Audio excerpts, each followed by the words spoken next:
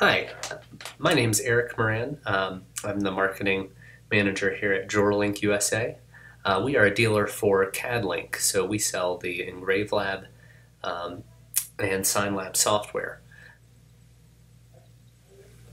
There's our file. This is just in preview on Mac. And then uh, we'll go to File, Export. So we're going to be exporting a different file version. Um, and this is going to be, go from PDF, let's go to JPEG. Let's go to the best quality, and we're going to put the resol resolution at 600, so it's in high resolution. And uh, let's go ahead save this as JPEG.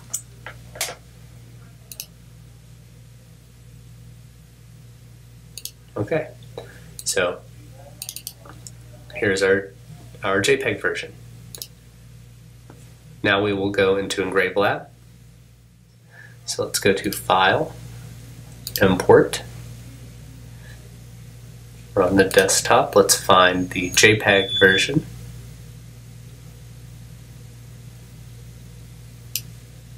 Here it is. Import. I will drag it in here and then we will go to image size to check.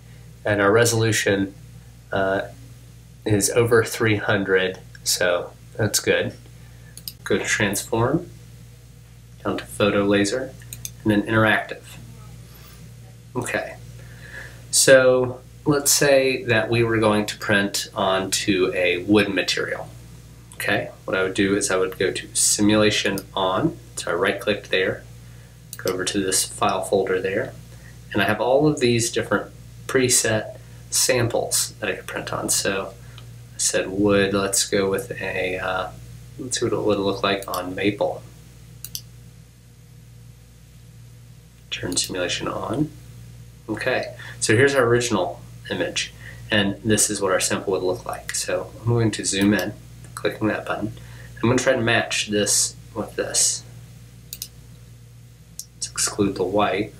Scroll in, okay. So I'm going to go through these and I'm going to turn them on and off and see what effect they have by right clicking.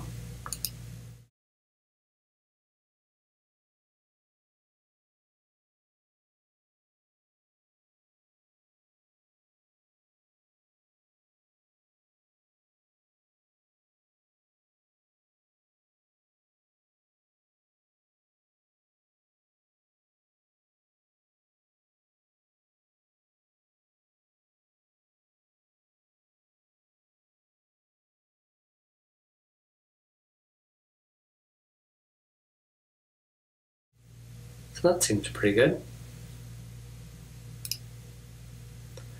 Okay? There's our sample, and here's the file that's been changed. So let's remove the sample.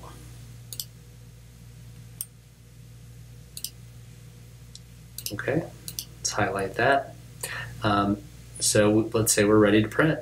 We've highlighted the file, file, print, and then we could find the driver for the laser machine that we were going to, let's say, click, click that, we could go to preferences, adjust the preferences, um, in the driver hit OK, and then print. Um, so this is what our laser, uh, laser job would be printing. Thanks for watching.